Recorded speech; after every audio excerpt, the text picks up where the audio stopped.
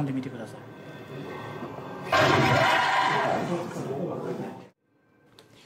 この体験会は危険な運転中の車の動きや運転手の心理を警察官に知ってもらうことで交通安全の指導に生かしてもらおうと JAF が企画しました。警察官たちはアクセルとブレーキの踏み間違いや濡れた路面を高速で走った時にハンドルやブレーキが効かなくなるハイドロプレーニング現象などを体験。とっさの時には少なからずパニックになる心理を実感していました、はい、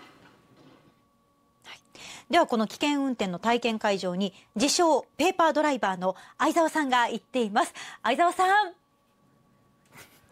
自称じゃなくてリアルにペーパードライ。バー。リアル。この豊田警察署なんですけれどもね、このドライビングシミュレーターで私がまず経験するのは、はい、新品のタイヤと古いタイヤの制動距離の違いです。ブレーキをかけてから止まるまでの時間の差というのをえー、体験してみたいと思います、うん。はい、JAF の山崎さんよろしくお願いします。ではまず新品のタイヤからお願いします、はいなので新品なのでちゃんと止まってくれるということですかね。ねはいそういうことですね急ブレーキをかけてどうなるかということですねはい、はい相沢さん、アクセルとブレーキ場所わかります？大丈夫ですか？はい、ちょっと失礼。えっ、ー、と右右がアクセルでいいんですよね。大丈夫です。はい、ではではやっといけるかな。ではスタートしますね。ブレーキをまず踏んでいただいて、はい、じゃあスタートしてください。はい、スタートしました。はいはい、もう結構アクセル踏んで、ね、サインが出たら、サインが出たらブレーキを踏みました。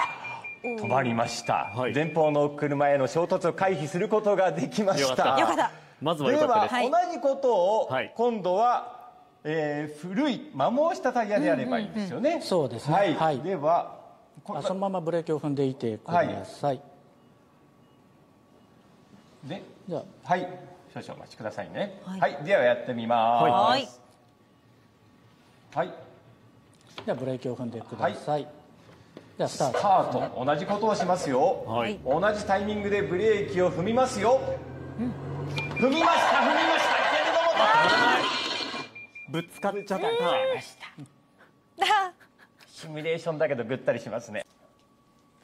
続いてこのドライビングシミュレーターで体感するのはブレーキとアクセルの踏み間違いです。急に突然前方に車が飛び出してきたら本来であればブレーキを踏まなければいけないんですが、はい、もう一瞬にしてパニックに陥ってしまって、さらにアクセルを踏み込んでしまったらどうなるかというのをこの画面上で再現しますよ、はい、考えるだけでも恐ろしいでは、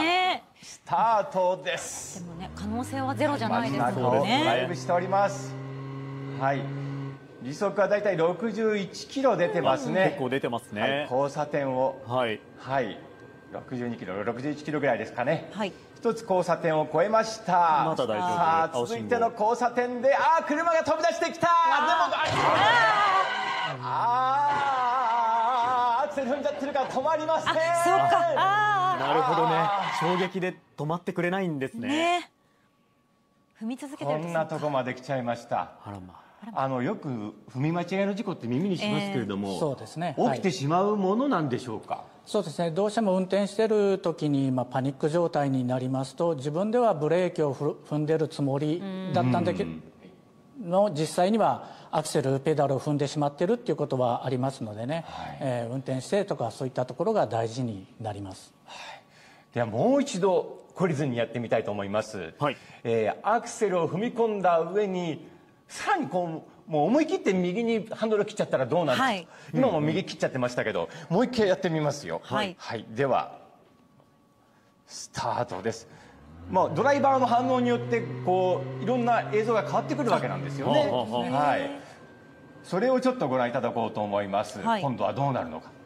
まあ中には横転してゴロゴロ転がったようなケースもあるということなんですよね。リアルに作られてるんですね。はい。車が飛び出してきた。うわぐるぐるまだ回ってまして。あもう一回ぶつかりそう。ああぐったりしますね やっぱりね、えこういう危険なシチュエーションをまあシミュレーターで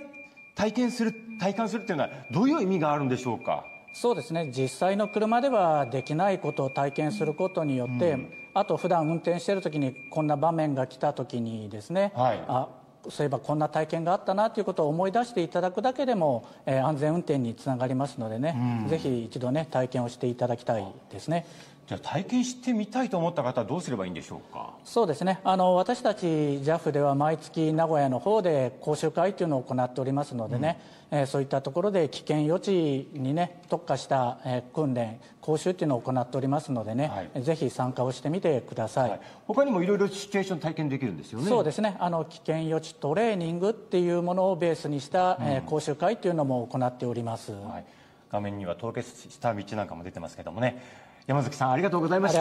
以上中継でお伝えしました